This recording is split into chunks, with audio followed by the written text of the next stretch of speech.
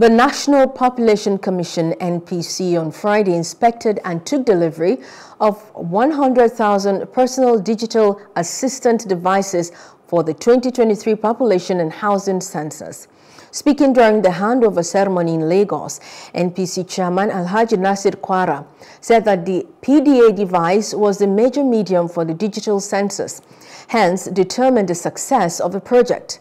Kwarra said that the digital device had the census questionnaire as well as the maps that would direct the enumerators to the enumeration areas where they would conduct the exercise.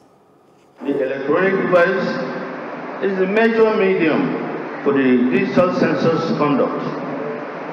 It houses the census questionnaires as well as the maps that direct enumerators to the enumeration areas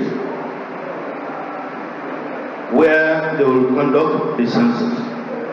The devices, when provisioned with the forms and the maps and other digital enhancement, ensures the enumerators cannot go beyond the areas assigned to them. Thus, there will be no overcounting, no undercounting, and there will be no overlap.